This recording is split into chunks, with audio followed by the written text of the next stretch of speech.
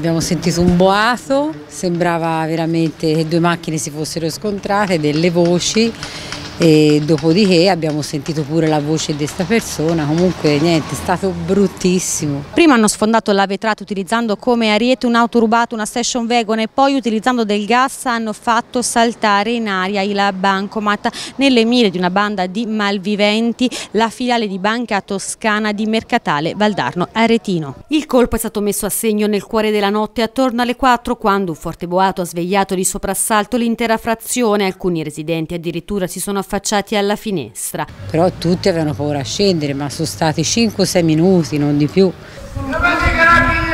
È sembrato lunghissimo, me credo se si guardasse il cronometro non erano più di 5-6 minuti. I ladri, dopo aver mandato in frantumi la vetrata, hanno manomesso il bancomat utilizzando probabilmente come innesco della cetilene e poi si sono dati alla fuga con i soldi in contanti che erano presenti. Prendeva la rincorsa, andava verso la banca, di nuovo botta, botta e poi alla fine uno gli ha detto di smettere, loro hanno minacciato chiamate pure i carabinieri, poi sono ripartita tutta volata, un mezzo paraurti spaccato.